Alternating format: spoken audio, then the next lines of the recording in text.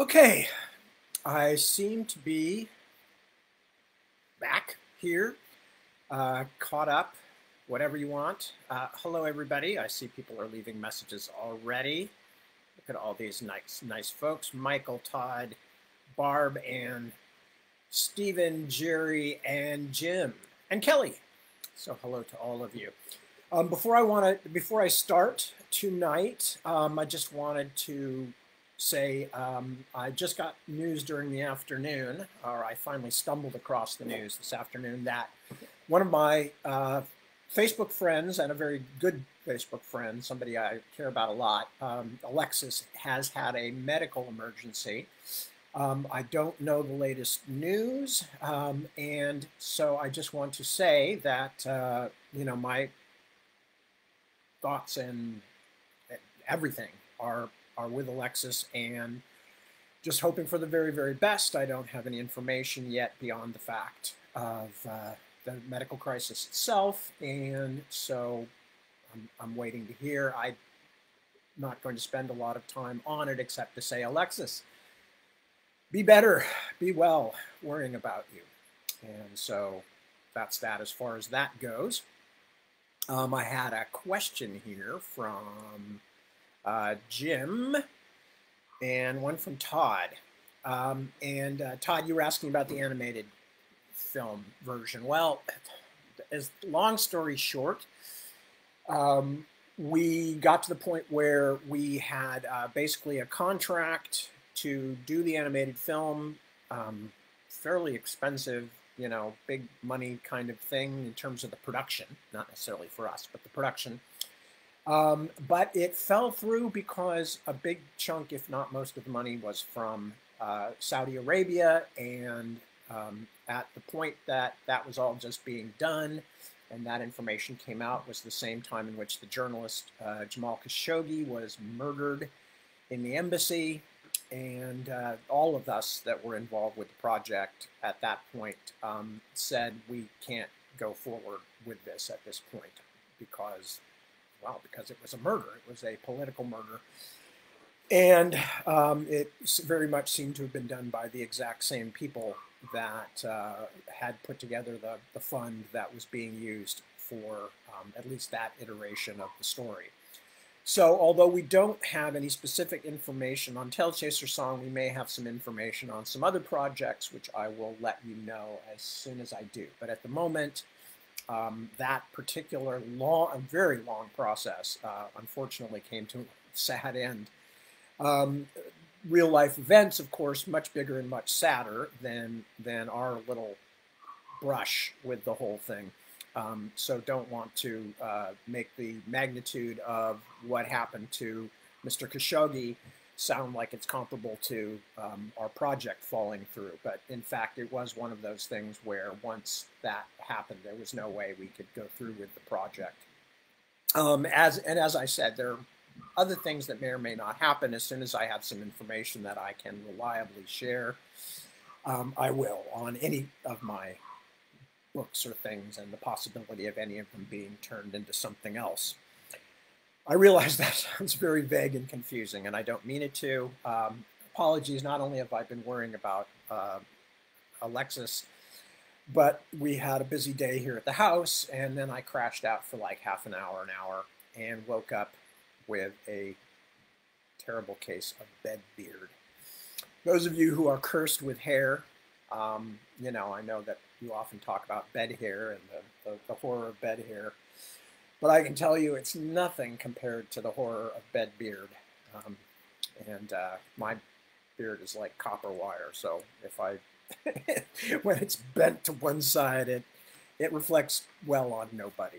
So, but again, in a more serious vein, um, all everything I'm saying here is of less import than you know the fact that uh, we we lost the Tail Chaser song deal because of a tragedy, and I'm worrying about our friend Alexis. So uh, but, you know, I did the best I could with the beer.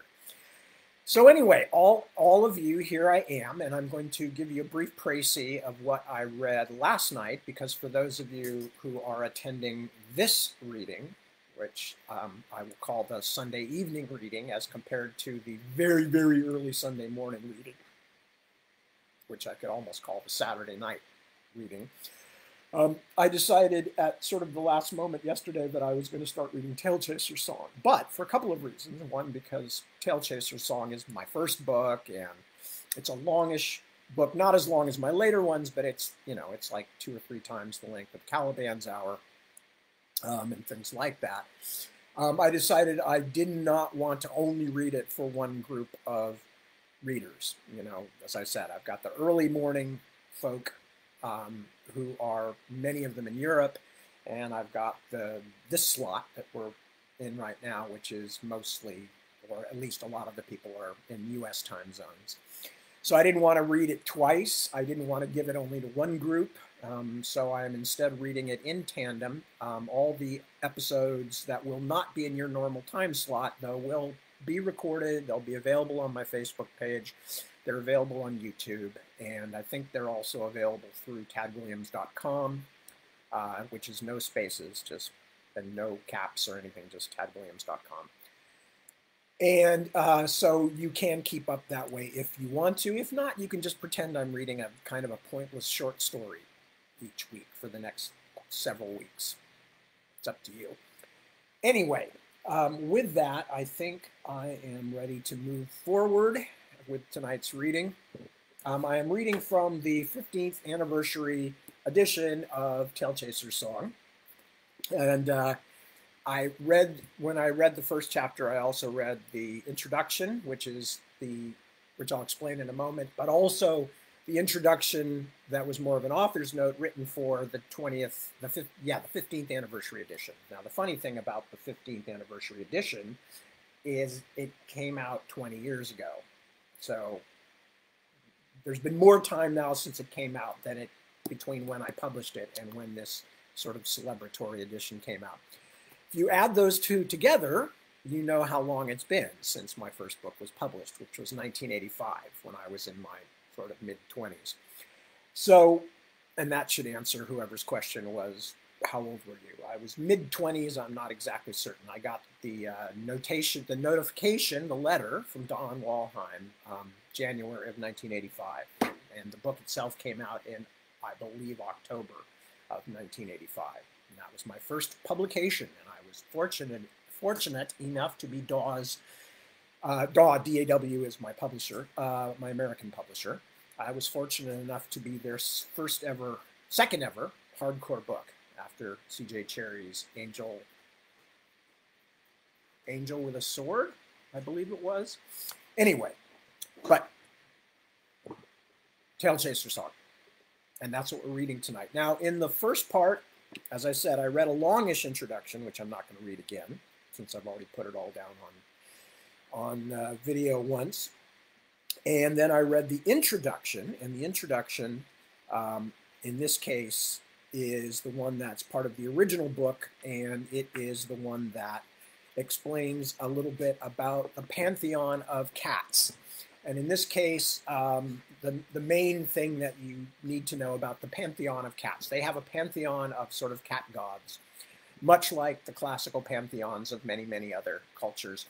And uh, the two main ones are Harar, Golden Eye, the, the, the male cat god figure, and Fela Sky Dancer, uh, the female cat god figure, and their three firstborn children, Viror Whitewind, who's the kind of martyred, lost cat, um, who had, was so badly injured by his younger brother, Grizraz Hearteater, that he eventually, although he survived, he no longer could live on the earth and has gone to live in the sky.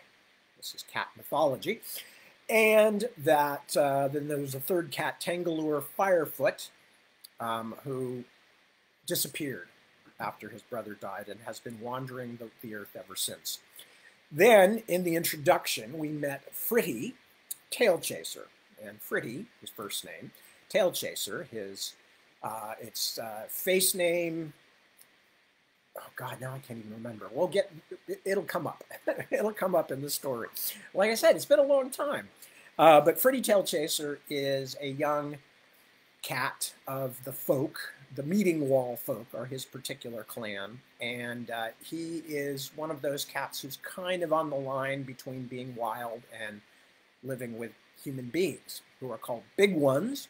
And during that first chapter, we heard a story being told to the Meeting Wall clan by one of the, by the clan's sort of shaman or storyteller, which explained how human beings were descended from a very proud, very arrogant, very large cat named Prince Ninebirds, who uh, was so um, uppity that he was punished by Tangalor Firefoot, one of the firstborn, by being stretched and pounded and pummeled until he was so ugly that he had to go live away from the rest of the cats. And from that point on, he was called Man, M A M apostrophe A N, which means out of the sunlight in cat language, and had to go off by himself and became the progenitor of all humans. And because of the curse, um, humans must always serve cats. And that was the story that was told at the meeting wall in the first chapter, um, an old clan folk tale. But the other bit of information that was important is that Tailchaser was trying to find his friend Hushpad, a female cat with whom he is very smitten and with whom he was having a, a kind of a beginning of a relationship. But she has disappeared. And that was what happened. At the end of the first chapter, uh, Tailchaser's friend Thinbone had agreed to go and hunt with him or help him look for Hushpad the next day. So that's where we are on chapter one. That was the end of chapter one. And now I'm going to read chapter two. At the beginning of each chapter, there are poems, most of them quite short. And I will be reading that after the chapter number uh, each time we encounter one, just so you know.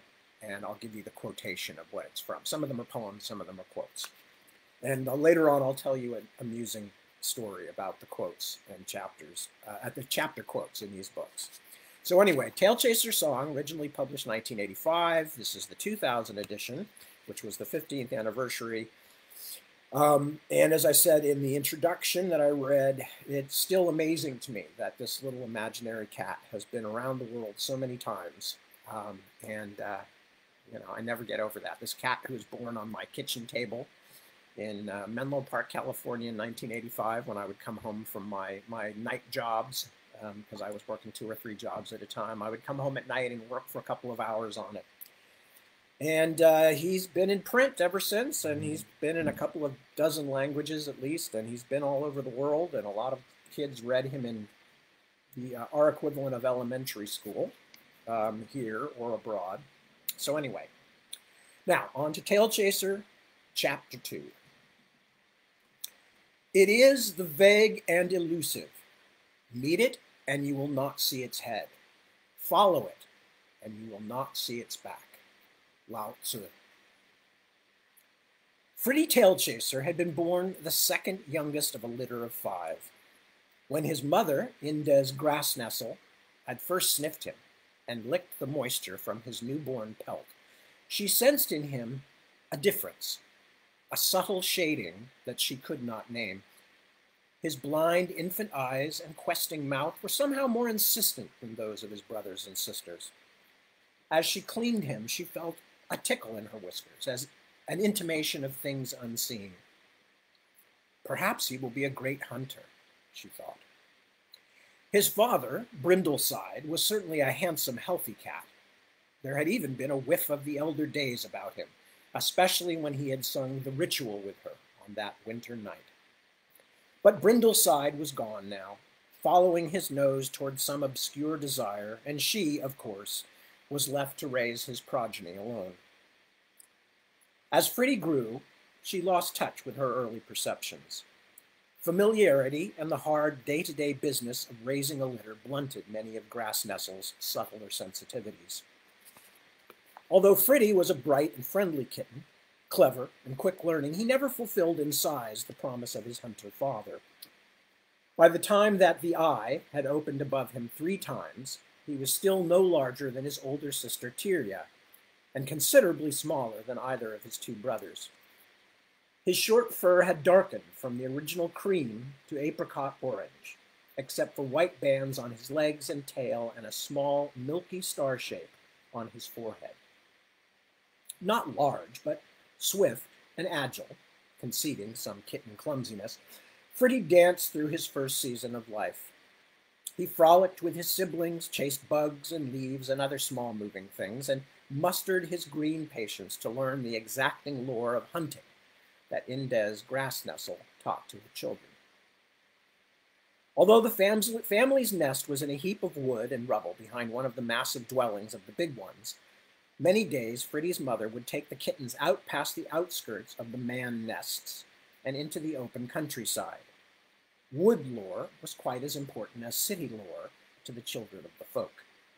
Their survival depended on their being smarter, faster, and quieter whenever, wherever they found themselves. Forth from the nest Grass Nestle would go, her young forming a straggling, cavorting scout party about her. With the patience passed down through countless generations, she taught her ragged crew the fundamentals of survival the sudden freeze, the startling leap, true smelling, clear seeing, quick killing, all the hunting lore she knew.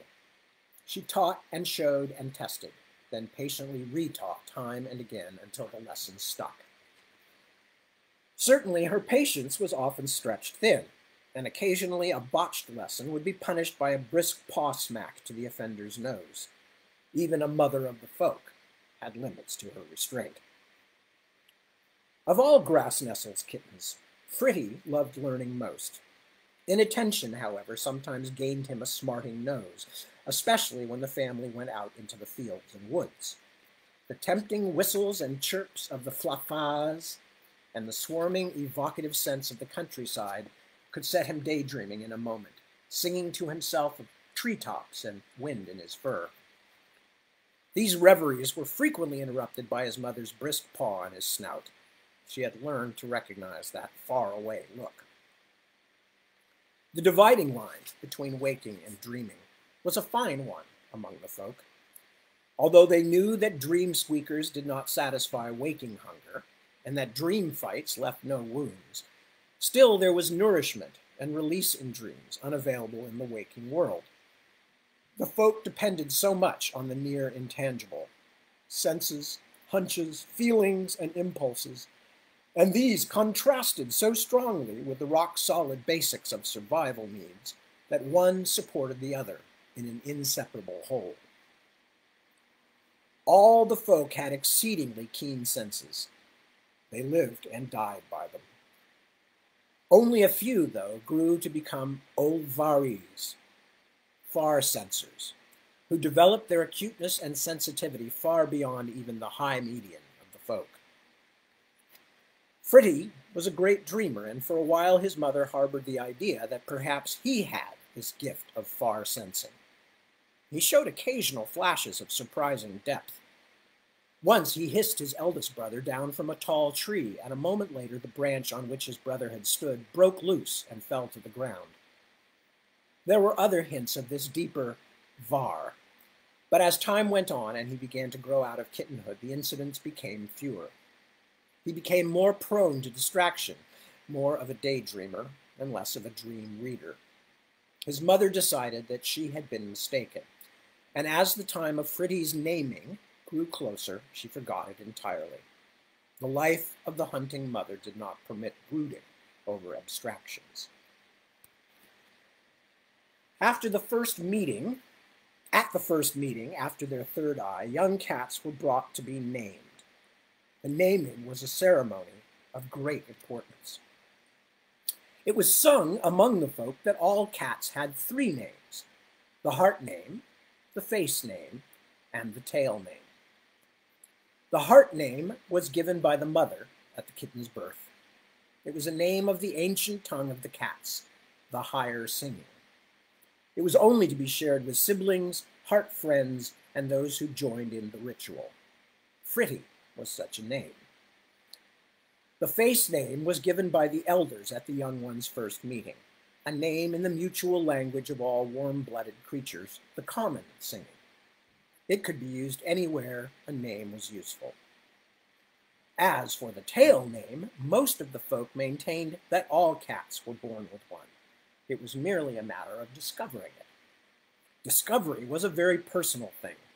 Once effected, it was never discussed or shared with anyone. It was certain, at least, that some folk never discovered their tail name and died knowing only the other two. Many said that a cat who had lived with the big ones, with man, lost all desire to find it and grew fat in ignorance. So important, secret, and rare were the folks' tail names, and so hesitantly discussed, that nothing much about them was actually agreed upon. One either discovered this name or did not, said the elders, and there was no way to force the matter. On the night of the naming, Fritti and his litter mates were led by their mother to the special nose meet of the elders that preceded the meeting. For the first time, Fritti saw Bristlejaw, the old Sirva, and old Snifflick and the other wise folk who protected the laws and tradition. Fritti and his siblings, as well as the litter of another Fela, were herded into a circle. They lay hunched against each other as the elders walked slowly around them, sniffing the air and sounding a deep rumble that had the cadence of an unknown language. Snifflick leaned down and put his paw against Tirya, Fritti's sister, and brought her to her paws. He stared at her for a moment, then said, I name you Clear Song. Join the meeting. She rushed away to share her new name, and the elders continued. One by one, they pulled the other young out of the pile, where they lay, breathing shallowly with expectation, and named them. Finally, there was only Fritti left. The elders stopped their circling and sniffed him carefully. Bristlejaw turned to the others. Do you smell it too? Snifflick nodded. Yes, the wide water. The place is underground. A strange sign. Another elder, a battered blue named Earpoint, scuffed the earth impatiently. Not important. We're here for a naming. True, Bristlejaw agreed. Well, I smell searching. I smell a struggle with dreams. This from Snifflick. I think he desires his tail name before he has even received his face name, said another elder, and they all sneezed quietly with humor. Very well, said Snifflick, and all eyes turned to Fritti. I name you Tail Chaser. Join the meeting. Bewildered, Fritti leaped up and trotted rapidly away from the nose meet, away from the chuckling elders, who seemed to share a joke at his expense. Bristlejaw called sharply after him, Fritti Tail Chaser! He turned and met the master old singer's gaze. Despite the merriment wrinkling his nose, his eyes were warm and kind. Tail Chaser, all things in Earth's season, only given time. Remember that, won't you? Fritti flattened his ears and turned and ran to the meeting. The waning days of spring brought hot weather, long trips into the countryside, and Tail Chaser's first meeting with Hushpad. As he drew closer to his maturity, the daily company of his brothers and sisters became less important to Fritti. Each day the sun was longer in the sky, and the scents carried by the drowsy wind grew sweeter and stronger. So, increasingly, he was drawn on solitary rambles outside the range of dwellings among which his family lived and slept. During the hottest part of the hour of smaller shadows, his hunger blunted by his morning meal, his natural curiosity freed, he would range through the grasslands like his brethren of the savannas, holding imaginary sway over all before him as he stood on a hillside, grass stems tickling his belly. The deeps of the woods also lured him. He delved at bases of trees for the secrets of scurrying beetles, and tried the strength of outer branches, feeling the intriguing breezes of the upper air swirl through the sensitive hairs of his face and ears. One day, after an afternoon of, of intoxicating freedom and exploration, Tailchaser emerged from the low scrub that girdled his woods and stopped to pull a twig loose from his tail. As he sat, splay legged, pulling at the bit of branch with his teeth, he heard a voice. Very stranger. Might you be Tail Chaser? Alarmed, Fritti leaped to his feet and whirled around. A Fela, gray with black striping, sat regarding him from the stump of a long dead oak. He had been so wrapped in his thoughts that he had not noticed her as he passed, though she perched a mere four or five jumps away. Good dancing, mistress. How do you know my name? I'm afraid I don't know yours. The bramble in his tail hanging, forgotten, Fritti observed the stranger carefully. She was young, seemingly no older than he. She had tiny, slim paws and a softly rounded body. There is no great mystery regarding either name, said the Fela with an amused expression. Mine is Hushpad, and has been since my naming.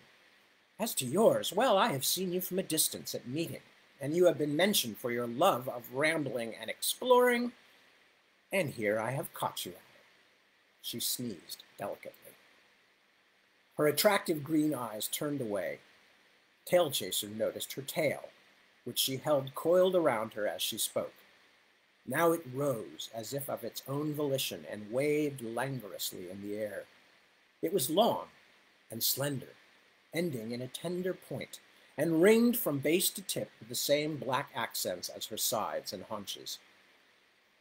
This tail, whose lazy beckoning instantly captured Fritti's admiration, was to lead him into more trouble than his own bounding imagination could conceive. The pair romped and talked all through the hour of unfolding dark.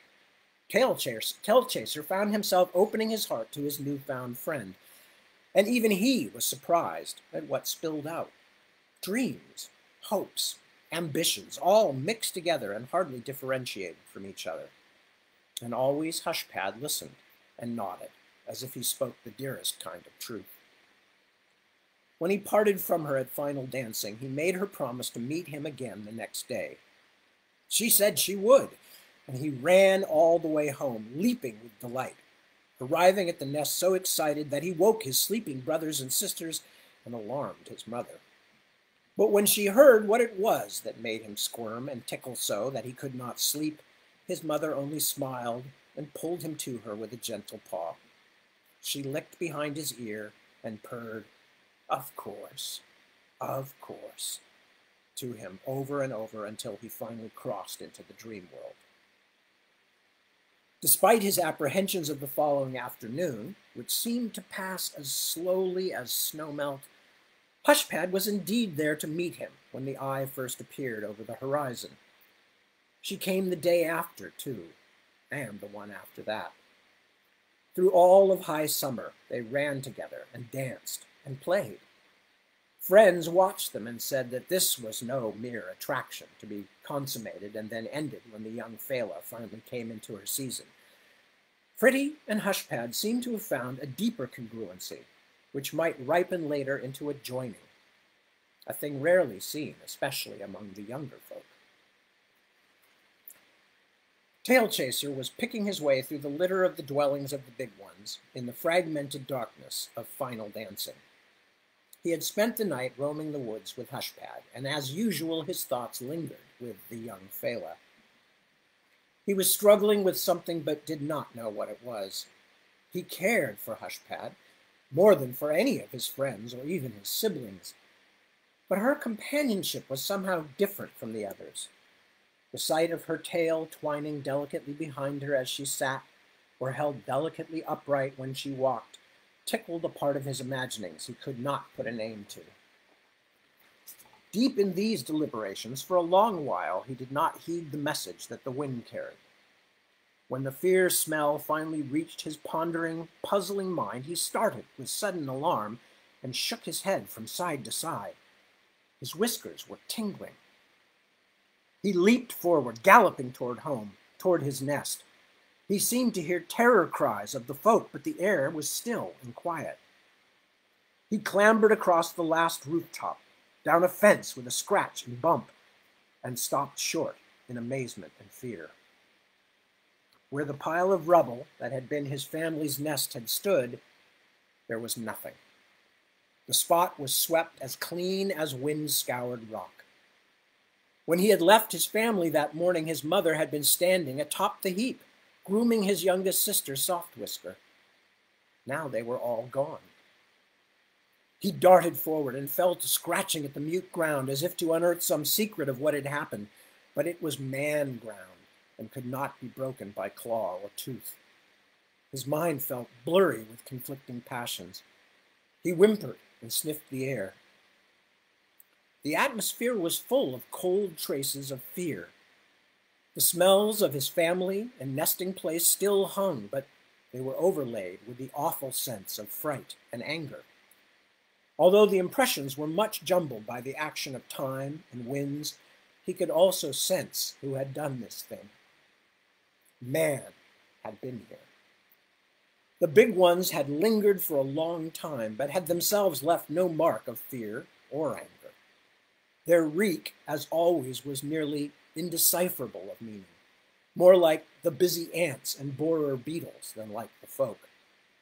Here his mother had fought them to the end to protect her young, but the big ones had felt no anger, no fear, and now his family was gone.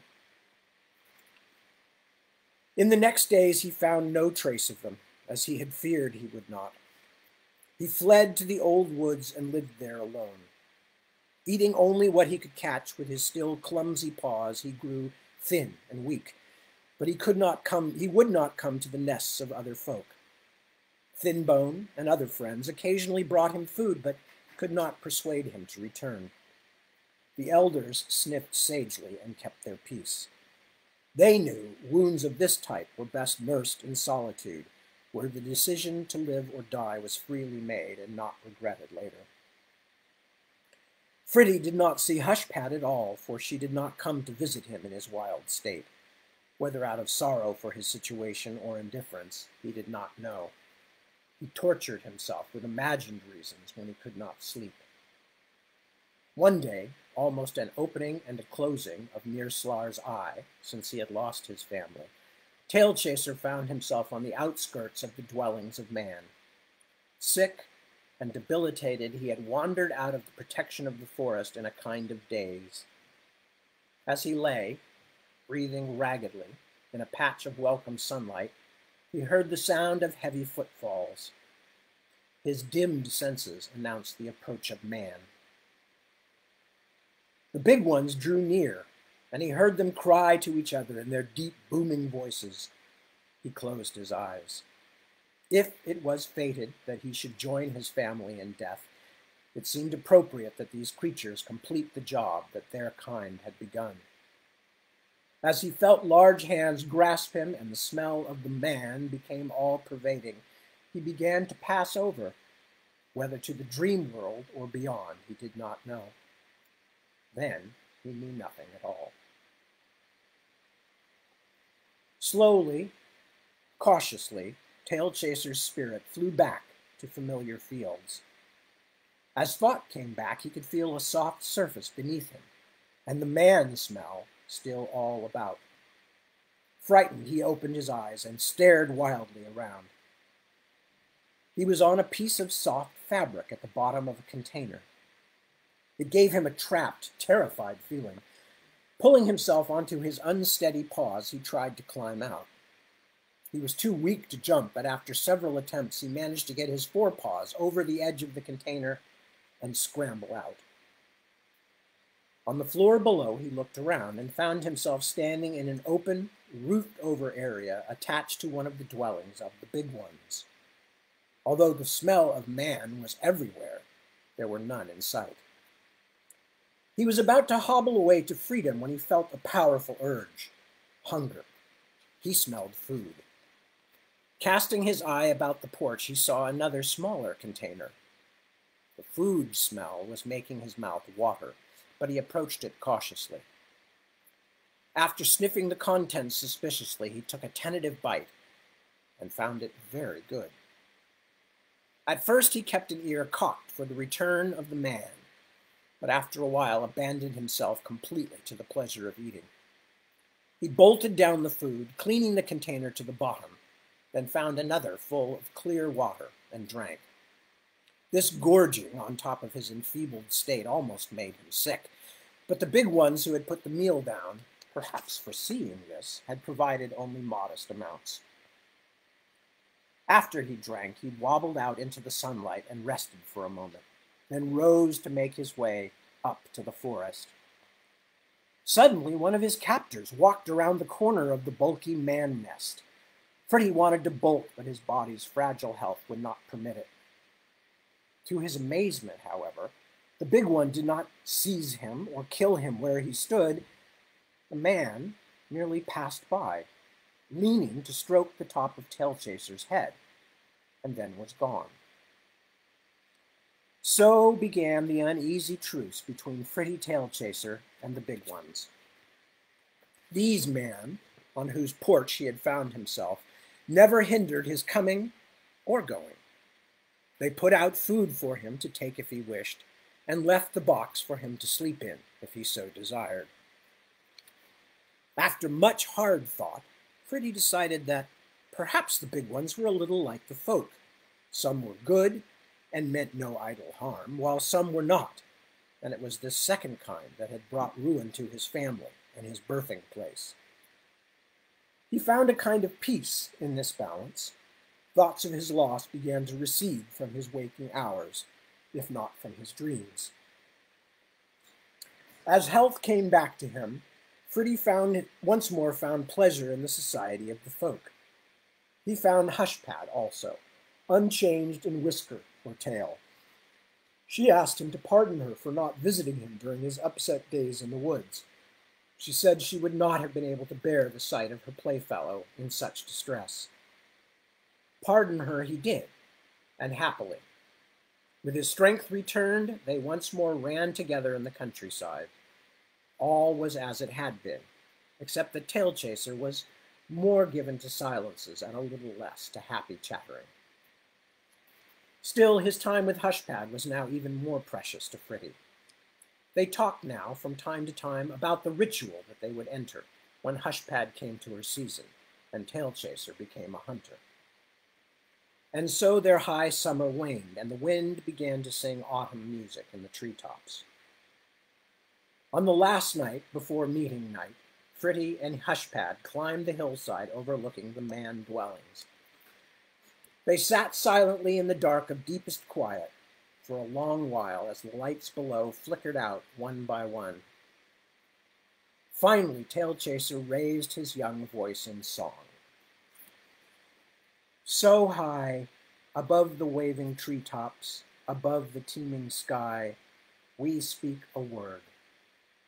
Side by side, upon the rugged world back, beyond the sun and tide, this voice is heard. We are traveling together with our tails in the wind. We are voyaging together. We are sun redeemed and warm. Long now, we have danced within the forest, looking only straight ahead, lacking but the word. Soon, though, we will understand the meaning in our whiskers and our bones now that we have heard. When Tail Chaser finished his song, they again sat quietly through the remaining hours of the night.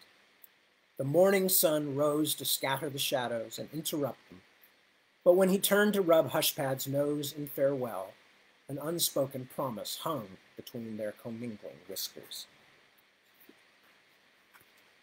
Chapter 3 they who dream by day are cognizant of many things which escape those who dream only by night. Edgar Allan Poe. The morning after meeting, Fritti awoke from a strange dream in which Prince Ninebirds of Bristlejaw's song had taken Hushpad and was running away with her in his great mouth. When Fritti's dream self had tried to pull her free, Ninebirds had seized him and given a savage yank. He had felt his dream form painfully stretching, stretching, becoming as thin and attenuated as smoke. Shaking himself all over, as if to scatter the dismaying fantasy, Tailchaser rose and performed his early morning grooming, smoothing down the sleep ruffled fur all along his body, coaxing errant whiskers into place and ending with a fillip that put his tail tip in perfect order. Walking through the tall grass behind his sleeping porch, he could not shed the sense of foreboding that his dream had cast over the day. It seemed important for some reason he could not remember. He should not and could not forget the dream. Why? Practicing paw swipes at an accommodatingly bouncy dandelion, he remembered. Hushpad! She had not been at the meeting. He must go and look for her, discover what had happened. He felt a little less apprehensive than he had the previous night. After all, he decided, there were many possible reasons for her absence. She did live in a man dwelling. They might have closed her in, prevented her leaving. Big ones were capricious that way. Tail Chaser made his way across the field of grass and through a copse of low trees as he skirted the old woods. It was some distance to where Hushpad lived, and the journey took him a good part of the morning. At last he came in sight of the man nest, standing by itself in the solitude of surrounding fields. It looked strangely empty, and as he approached he could find no trace of familiar smells. Calling, Hushpad! Tail Chaser here! Me foul, heart friend! He jogged closer, but was met with silence. He noticed the entrance hanging open, as was not usual in the nests of man. Reaching the dwelling, he cautiously poked his head inside, then entered. Not only was the man dwelling empty of life, to Tail Chaser it seemed empty of everything.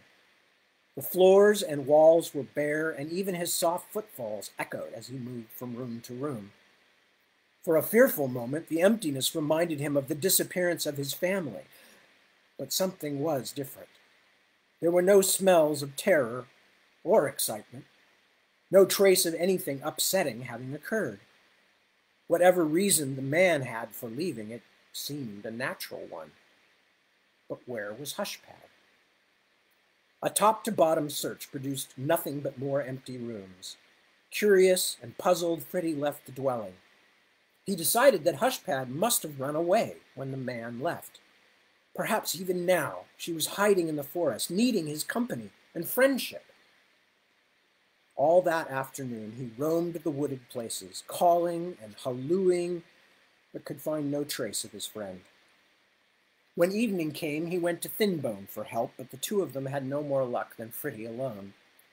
They ranged far and wide and asked all the folk they met for tidings, but none could help.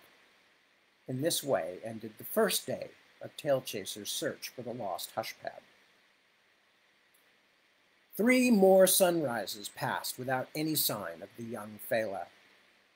Fritti found it hard to believe that she would simply leave the area, but no trace of violence had been found, and the other folk had not seen or heard anything out of the ordinary. Day in and day out, he continued searching for her, tired but with a terrible, relentless need. First his family and his birthing place. Now this. Even Thinbone gave up after the third day. Tail chaser, tail chaser, I, I know it's a terrible thing, his friend said. But sometimes Meerclar calls and we go. You know that. Thinbone looked down, searching for words. Hushpad has gone. That is that, I'm afraid. Fritti nodded his understanding, and Thinbone went off to join the other folk. Tail Chaser, however, did not plan to give up his search. He knew what Thinbone said to be true, but felt strongly, in a manner he did not fully understand, that Hushpad had not gone to Meerclar, but was living somewhere in the fields of the earth, and needed his help. A few days later, Fritti was sniffing his way through a hedge of privet in which he and Hushpad had played many games of roll and pounce when he met Stretch Slow.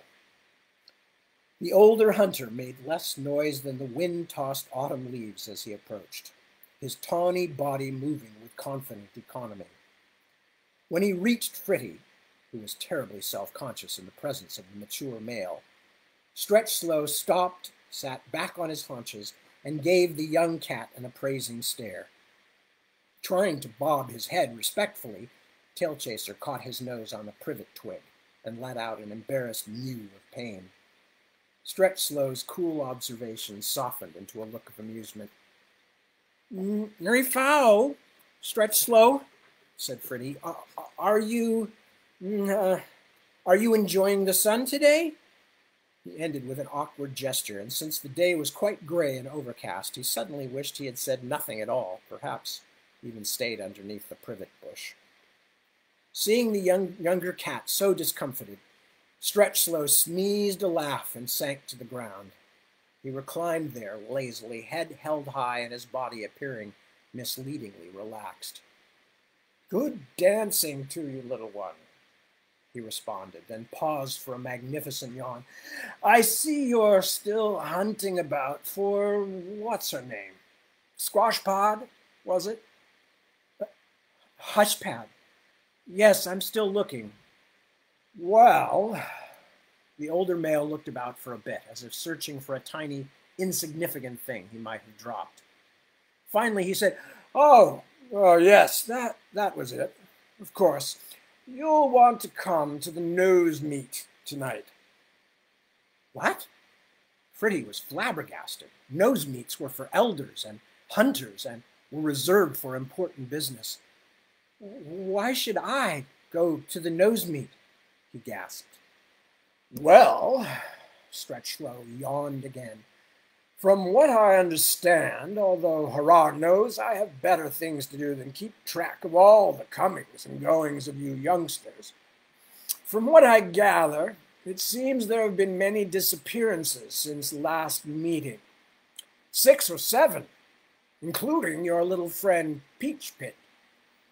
Hush, Pat. Fritti corrected him quietly, but Stretch Slow was gone. Above the wall, Meerclar's eye hung and gleamed, framing a sovereign wink against the black of the night. We have had this problem also, and some of the mothers are getting very worried. They aren't pleasant to be around at all lately. Suspicious, you know? The speaker was Mudtracker, who lived with another colony of the folk on the other side of Edge Copse. They had their own meetings and seldom had more than passing contact with Fritti's clan. Oh, what I mean is, continued Mudtracker, well, it, it is natural. I mean, we lose a couple of kittens every season, of course, and, oh, and the occasional male who decides to move on without telling anyone. Failure troubles, usually, if you sniff my meaning. But we've seen three disappear in the past pawful of days. It's not natural. The visiting cat from the far side of the copse sat down, and there was a rustle of low hisses and whispers among the gathered clan leaders. Fritti's excitement at being at nose meet with the adults was beginning to fade. As he heard the stories that the others told of mysterious, mysterious absences and saw the way the sage, wise cats around him shook their heads and scratched their masks in puzzlement, he suddenly began to wonder if they would be any help at all in finding Hushpad. It had seemed to him that as soon as the older cats had acknowledged his problem, it could be solved. But look there. The brows and noses of the clan's protectors of tradition were wrinkled with worry. Tailchaser felt a sense of emptiness. Jump Tall, one of the youngest present, though older than Fritti by several seasons, stood to speak my nest sister, my nest sister, Flickerswift, had, had two of her kittens vanish just I last. She is a watchful mother. They were playing at the base of that old Searsy tree at Forest's Edge, and she had turned for a moment uh, because her youngest was having a difficult furball. When she turned around again, they were gone, and no smell of, of owl or fox. She looked everywhere, as you can imagine. She's very upset. Here Jumptall paused awkwardly, then sat down. Earpoint rose and looked around the gathering. Yes, well, if no one has any more of these uh, stories. Stretchslow raised a grudging paw. Pardon, Earpoint, I, I do believe. Where is he? Ah, yes, there he is. Young Tail Chaser there has something to report. If it's not too much bother, I mean. Stretch Slow yawned, showing his sharp canines. Tail chewer? said Earpoint irritably. What kind of name is that? Bristlejaw smiled at Fritti. It's Tail Chaser, isn't it? Speak up, youngling. There you go. All eyes turned to Tail Chaser. Um, well, um, a sickly expression made his whiskers droop. Well, uh, you see, Hushpad, she's my friend. She's a, she, Hushpad is, well, she's disappeared. Old Snifflick leaned over and stared at him keenly. Did you see anything of what happened to her? Uh, no, no, sir, but I think. Right, Earpoint leaned over and gave Fritti a brusque paw pat on the top of the head, nearly upsetting him. Right, continued Earpoint. Very good. Yes, thank you, Tail, Tail, Tail. Well, it was a most useful report, young fellow. Now, shall we get on with it? Fritti sat down hastily and pretended to search for a flea. His nose felt hot. Wavetail, another elder, cleared his throat, puncturing several moments of uncomfortable stillness, and asked, but what are we going to do? Another moment's pause, and then the gathered folk all broke out at once. Alert the clans! Post sentries! Move away! No more having kittens! This last was from Jumptall, who, seeing the others all staring at him, was suddenly plagued by tail chasers flee. Old Snifflick climbed ponderously up onto his paws. He looked severely at Jumptall then gazed around at the waiting folk. First, he growled, we had better begin by agreeing not to go yelling and leaping about in this manner. A chipmunk with a bumblebee in his tail would make less noise, and to more effect. Now, let's review the situation. He stared impressively at the ground as if mustering deep thoughts. First, an unusually large number of the folk have gone missing. Second, we have no idea what or who may be causing this. Third, the best and the wisest cats from around our woods are here tonight at nose meet and cannot solve the puzzle. Therefore, Snifflick paused to savor the effect. Therefore, Although I agree that guards and such need to be discussed, I think it important that wiser minds than, yes, even ours, should be let to know of this situation. Baffling and affrighting as it is, we have no choice but to inform certain others about this situation. I suggest we should send a delegation to the court of Harar. It is our duty to inform the Queen of Cats. Entirely pleased with himself, Snifflick sat down as consternation and surprise whirled around him. To the court of Harar, breathed Mudtracker. None of the folk of Behind Edge Copse have been to the seat of the first for twenty generations. There was more excited rumbling. Neither have the folk from this side of the woods, said Bristlejaw. But I think Snifflick is right. We have heard these stories all night long, and no one has the slightest idea of what to do. This may be beyond us. I agree to a delegation. The crowd quieted for a moment, then two of the assembly blurted out at the same instant, Who will go? This started another uproar, and Earpoint had to shoot his claws and wave them around purposefully before things were quiet again. Snifflick spoke. Well, it will be quite a long and dangerous journey. I suppose that as I am senior elder, and my knowledge that my knowledge and wisdom will be needed. I will go. Before anyone could react to this, there was a sudden snarl from the back of the gathering, and Twitchnose was striding forward. She was Snifflick's mate, had borne innumerable litters by him, and she was a taker of no nonsense. She marched straight to Snifflick and stared him in the eye.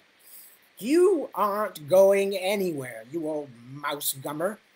You think you're going to sail out into the wilderness and sing your horrible hunting songs all night while I sit here like a hedgehog? she hissed. Think you're going to find some slender young fella at the court, do you? By the time you mount her with those tired old bones, she'll be as old as I am. So what's the difference, you old villain? Trying to save Snifflick, Bristlejaw quickly said, That's that's right, Snifflick. I mean, you shouldn't go. The folk here need your wisdom. No, a long journey of this kind calls for young cats. Cats who can travel in the winter time. He looked around, and as his eye passed over Fritti, the young cat felt a moment of impossible excitement. Bristlejaw's gaze moved on, though, and settled on Earpoint. The weathered old Tom rose under the eye of the master old singer and stood waiting. Earpoint, you have seen many summers, said Bristlejaw, but you are still strong and wise in the ways of the outer forest. Will you lead the delegation? Earpoint inclined his head in assent. Bristlejaw then turned to Jumptall, who leaped to his feet and stood, seeming to hold his breath. You go also, young hunter, spoke the lore singer. Be aware of what an honor there is in your choice, and behave accordingly. Jumptall nodded weakly and sat down.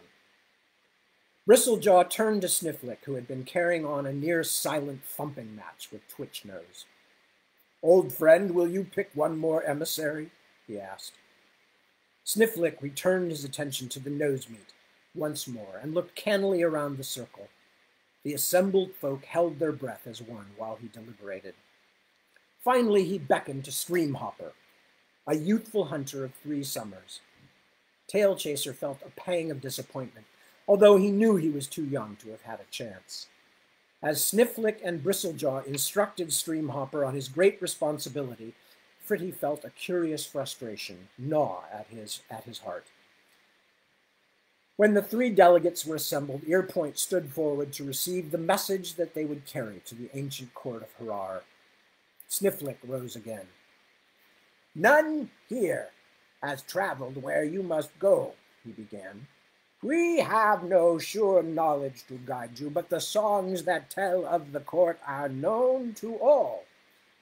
If you are able to discharge this duty and reach the queen of the folk, tell her that the elders of the meeting wall, this side of Edgecopse, under the eaves of the old wood, on the fringe of her domain, pledge their fealty and ask for her help and guidance in this manner. Tell her that this plague of disappearances has visited not just the kittenry and questing males, but Harar, curse it, the entire tribe. Tell her we are bewildered and can find no wisdom in this matter. If she will send a message, you are charged to bring it back with you. He paused. Oh, uh, yes, you are hereby bound to help and aid your companions, up to, but not including, the failure of your charge. Here Snifflick halted again, and in a moment was once more the oldest cat of the meeting wall folk. He looked at the ground for a moment and scrabbled his paw in the dirt. We, we all hope that Meerclar All-Mother will watch over you and keep you safe, he added. He did not look up. You may tell your families, but we wish you to leave as soon as possible. May you find luck dancing, Bristlejaw said. Then, after a moment, this nose meet is ended. Almost all the folk who were present rose and pushed forward, some to talk excitedly among themselves, others to get a last sniff or offer a last word to the three delegates. Fritti Tailchaser was the only cat who did not stay for at least a moment with the brave delegation. He climbed away from the wall, buzzing with unfamiliar feelings. At the lip of the hollow, he stood scratching his claws through the rough bark of an elm tree, listening to the murmur of the crowding cats below. Nobody at the nose meet cared about Hushpad, he thought. Nobody would remember her name when the delegates reached the court. Stretchlong couldn't even remember it now. Hushpad didn't mean a, a jot more to any of them than the scruffiest old Tom. Yet he was supposed to wait patiently while Jump Tall and the rest went parading off to the court of the Queen in the hope that she would solve the problem. Heavenly Viror, what nonsense! Fritti growled, a noise that he had never made before, and ripped off another skein of bark. He turned and stared into the sky. Somewhere, he felt sure, Hushpad was staring up at the same eye, and no one cared but him whether she was in danger or not. Well then, Tailchaser felt hot determination as he stood on the hillside, head and tail arched. The orb of Meerclar hung above him like a shaming parent as he made an impassioned pledge. By the tails of the firstborn, I will find Hushpad, or my or my spirit will fly my dying body, one or the other. After a moment, when he realized what he had promised, Fritti began to shiver. And that is the end of chapter three. So we got through two chapters. So maybe I never know these things until I actually read them. So maybe we'll still be about 12 episodes altogether or something like that. No, 18. Uh, uh, so still quite a bit. So I'm glad I'm reading it broken up. Anyway, so that is chapters two and three of Tailchaser's Song. I will be reading the next section Friday, my time, 2 a.m. Sorry, Sunday. Just confused myself. Sunday, my time, 2 a.m. And then I'll be reading the part after that, this same time next week. But as I said, all these things are posted in various places. I mentioned it on my Facebook page in the last, um, the, the first post about this today. Um, and uh, the, the one with the horrible baby doll on it, I think, but I'm not sure about that. No, it was the one before it. But anyway, doesn't matter. If you want to find out where to find it, you can. And until that point, I just want to say, please, all of you, again, um, please keep our friend Alexis in your thoughts and prayers um, as we wait to see how that's going. Um, Alexis, get well, be better, thinking about you, worrying about you. And for all the rest of you, I hope you're all well, and I hope you're staying that way, and you and your friends and loved ones, and your neighbors, and everybody. And if you're out protesting, wear a mask. Um, if you are out shopping, wear a mask. If you're out trick or treating, you're early. Other than that, wear a mask. I hope that's all clear. Okay? And uh, thank you so much for joining me. Thank you so much for really just being part of this. It's really strange to think about how long ago this was and to think about today and uh, what I would have thought about this when I was writing those words on my round dining room table back in my apartment in Menlo Park in 1985. Long time ago. Very strange. Anyway, so thank you for sharing this voyage down memory lane with me, this cat hair covered voyage down memory lane. Until next week, take care of yourself. Lots